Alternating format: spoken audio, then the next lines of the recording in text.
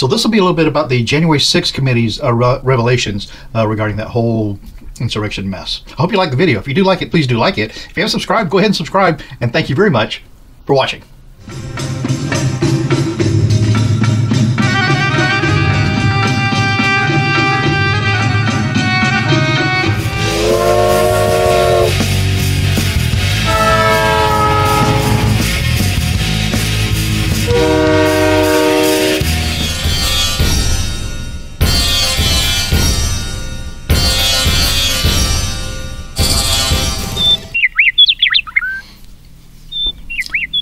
Hi, I'm Mark. and This is my journey through tarot. Come on.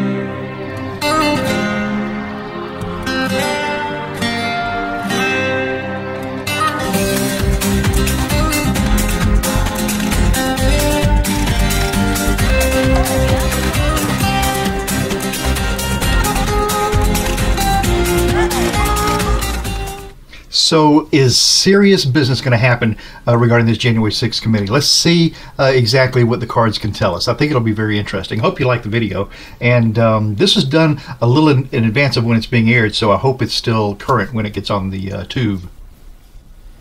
Everybody wonders what are the people on that committee thinking? I mean, Kinzinger and uh, Cheney, and of course all the Democrats. So we just have to see what the cards say. I, I really don't. I, I, don't have any intuition about it myself. So really, just be reading whatever the cards tell us, and we'll see uh, how that compares. So this impressionist tarot, these cards are everything that I've ever wanted in a set of cards, except for the quality. And I'll tell you what I mean. The um, box is fantastic. It's a beautiful box. If you gave this as a gift or if you got it as a gift, you'd feel like, wow, somebody really put some thought into what they were uh, giving me. And the guidebook is very useful. It's a full color guidebook with very thoughtful uh, ideas as to the divination of the cards. And uh, the uh, the creators of this are Corrine Kenner and the artwork by Arturo Pica. And so what they've done is they've actually taken impressionists um, that you will know of and uh, and that you will see art in galleries and um, and use their art to make these cards. And, um, and so what they've they've taken the actual artwork um, and sometimes uh, Arturo Pica has added elements to the original art to help in the divination, or he may have blended a couple of uh, pieces of art uh, from one or two or uh, artists to uh, get to this uh, this work here. But they're gorgeous to use. I love them. And uh, I feel like this is just a good way to get the cards mixed up without creating too much damage to them. I mean, some folks like to kind of really handle the cards and bend them and break them you know, to uh, make them theirs. That's just not what I like to do. Uh, nothing wrong with that if that's what you like to do. But uh, this Impressionist Tarot, I'm so happy with these cards. Okay, so the January 6th committee and Revelations. So, will this committee produce significant revelations towards their goal. And uh, their goal is getting at the truth, let's say, to getting at uh, protecting the democracy from this insurrection situation that happened, uh, protecting us from an autocracy, is how I see it. And uh, that's how I think uh, all of them on that committee would tell you the same thing.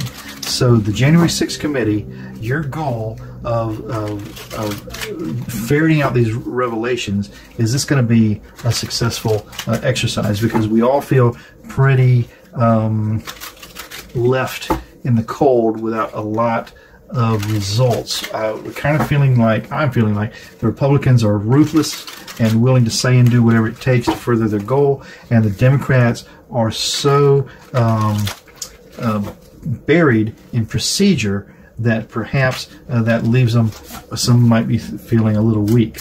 So, January 6th committee, will these revelations come forth and uh, do the job? Let's do the first six cards on the will the revelations uh, be revealed, significant revelations. One, two, three, four, five, six cards for January 6th, huh? January 6th committee, Insurrectionist committee. Let's see what these cards have to say. Okay, the signifier card for this January 6th committee on these revelations. Uh, we start out here with this King of Swords. I'm looking for my little wand over here. This King of Swords. So, okay, so this January 6th committee is signified by the King, the very highest power of the rules, law, uh, truth, justice. Okay, so that's the signifier. The uh, challenge to that is then this uh, the three is this is the empress. So this is fruitful. The empress is is almost like mother nature. She comes with uh, uh, this is the major arcana and the empress is just bountiful okay? She has a lot to give up. And so the challenge to this uh, truth rules law is all the bounty that's there. That's interesting. This is more than one card in no so that's interesting. The base of this reading then is this Two of Pentacles. You know, the Two of Pentacles typically is talking about balancing the situation out one way and the other. These two ballerinas are delicately working out their little routine, okay? And so, and we, and so it's an artful, uh, delicate um, balance that looks like is the base of this whole uh, situation. Interesting. The past of this reading for the January 6th committee is this. Um, Ace of Wands. So the past of this, wands are, are plans or actions or forward moving or fire. This uh, Ace of Wands is a, is a large uh, offering of that, uh, the value of that wand. Uh, like I said, the plan, the, um, the forward motion. But look at this wand. This is an old man's cane almost looks like, you know, uh, leaned against the wall, not being uh, even used at this moment. Okay, it's just there waiting to be taken up. So the past of this reading is this big offer of a plan that is yet, that I can see, be picked up and, and put into action. Hmm. Uh, the sky of this reading, then, which would be, you know, what you're shooting for, is this uh, king of that wand. Okay, so at this point, so we recognize the plan, and this king now has the plan in his hand. But look, he still looks like sort of a feeble king, doesn't he? He's worked his way out onto the balcony. He's separate from the masses, uh, but uh, but he has this plan in his hand, and he's bringing it forth kind of gingerly. Okay cautiously. And I think that's how we'd want a king to uh, to handle his plan. We would want him to thrust his plan on us. We want him to to introduce us to the plan and show us that he has it. And um, but look, he's just so meek. Okay.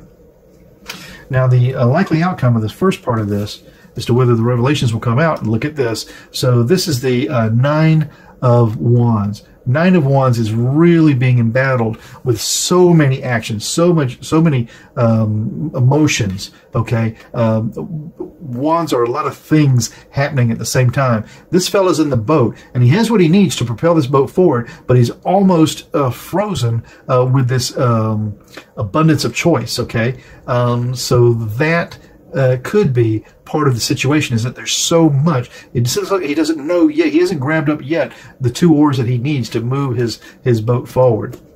Very interesting. So, will you, January 6th committee, will you move this forward towards a uh, prosecution? Let's say it. The self of that question is this Queen of Pentacles. Okay, so the Queen, uh, the Pentacles are worth value. This Queen has her hands on her hips. Okay, this is like when Mom stares you down and says, "Okay, I told you you're going to do this," and that's exactly what's going to happen. So yeah, this feminine power, this subtle energy. Um, yeah, this Queen of, of, Pentacles is in charge of this situation. But what's she in the environment of? What is she in the environment of? She's in the environment of this Ten of Cups. Well, that's a good, a good thing to be in charge of the Ten of Cups. Look, it's a rainbow in the past. In the in the past here, there's these sturdy lily pads on this beautiful uh, uh, little uh, inlet or lake of of, of compassion. So this cup cups of compassion, passion, emotions, and uh, the 10 is usually a celebratory outcome in that regard.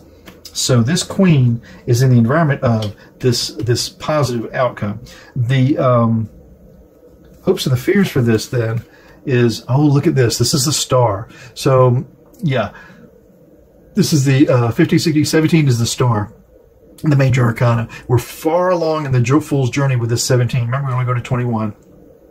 And uh, to be the star in that says to me that, yeah, this is a big yes card. Um, we're going to um, have this um, illumination, but illumination at night is certainly different from illumination during the day.